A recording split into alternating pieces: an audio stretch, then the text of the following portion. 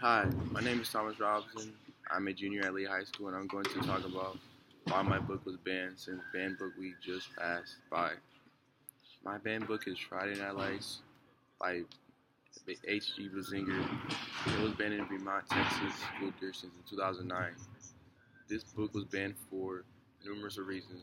First of all, the book was, has been known for the use of profanity, sexual situations, and racism at the end of at the school and wider community. The main cause of the book being banned is the many racial issues that are very known in the society.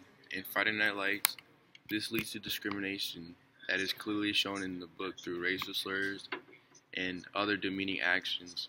Their entire town was racially divided despite the book taking place in 1988. In the book, it said, and I quote, Odessa's values were old fashioned as well when it came to race, still rooted in the days when the line between white and black was bluntly defined by the American version of the Berlin Wall, the railroad tracks that ran through the heart of the town. These are other small there are other small reasons why the book is banned, but they are overshadowed by the racism issue. There were some times when players would swear at each other during a couple football games. This was offensive to some people in Beaumont, Texas. They complained that Friday Night Lights was inappropriate for children, and I don't get why they'd even allow their children to read this type of book if they didn't want them to. When Friday Night Lights was written in 1990, racism was still an issue in society, but there were steps to take an end to it. Odessa, Texas, the town in Friday Night Lights was incredibly behind the rest of the country when it comes to equal rights. These racial problems influenced the writing of the book and people don't want to hear about that in a book. The main focus is to get rid of racism. I think that Friday Night Lights shouldn't be banned because it teaches the reader to overcome challenging things in life and prepares them for the future.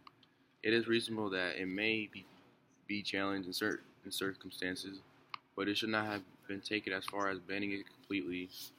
It is easy to see why children need to be shielded from some parts of the novel, but for older kids, they'd be okay. I know it talks about sex and racism, but these things are present in life itself. It doesn't help to shield kids from reality.